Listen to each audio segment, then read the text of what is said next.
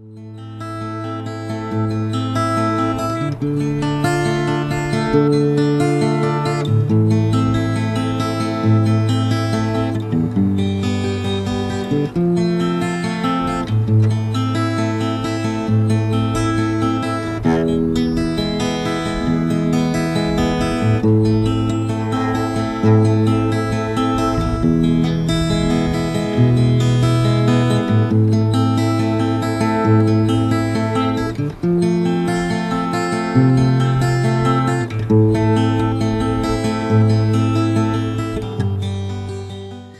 2006, non-governmental organizations continued to press the government to create an independent police complaints and misconduct commission, IPCMC.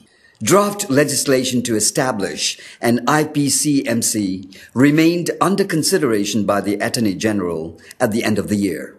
A range of other reform recommendations, including repeal, or review of laws allowing for detention without trial or requiring police permits for public assemblies were not implemented.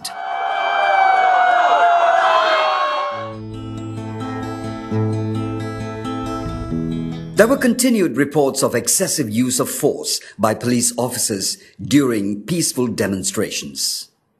In March and May, police armed with shields violently dispersed a series of peaceful protests in Kuala Lumpur against fuel prices with batons and water cannon.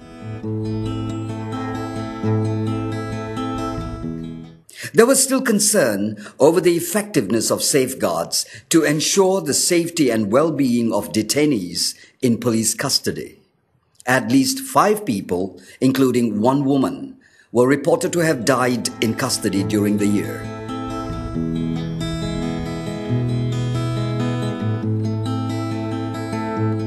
The ISA, which allows for detention without trial for periods of up to two years, renewable indefinitely, continued to be applied and also used as a threat.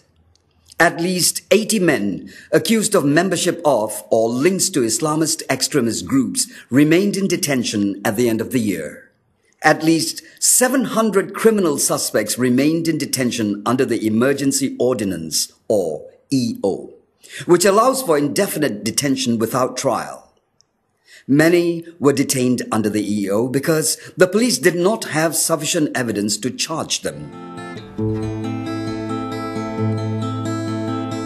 Refugees, asylum seekers, and migrant workers remained vulnerable to arrest, detention in poor conditions, and deportation under the Immigration Act. Migrant workers were subjected to psychological and physical abuse by agencies and employers and were often denied equal access to benefits and protections guaranteed to Malaysian workers, including maternity provisions, limited working hours, and holidays. Excessive use of force and ill treatment were reported during repeated raids and mass arrests, mostly conducted by members of the Volunteer Civilian Armed Corps, RELA, of suspected irregular migrant workers. Hundreds were whipped after being found guilty of immigration offenses. There was continued criticism of the Printing Presses and Publication Act, which allows the authorities to refuse, revoke, or suspend printing permits. In May, the opposition People's Justice Party, or Parti Keadilan Rakyat, protested at the refusal to grant a printing permit for the party's official paper. Two opposition parties, the Malaysian Dayak Congress and the Socialist Party of Malaysia, or Parti Sosialis Malaysia, were denied registration under the Societies Act. Death sentences, however, continued to be passed during 2006 mostly as a mandatory punishment for certain drug-related offenses. Four executions for armed treason were carried out. The authorities continued not to disclose regular statistics on capital punishment. In May, Parliament passed a water privatization bill, which also extended the death penalty to cover serious cases of water contamination.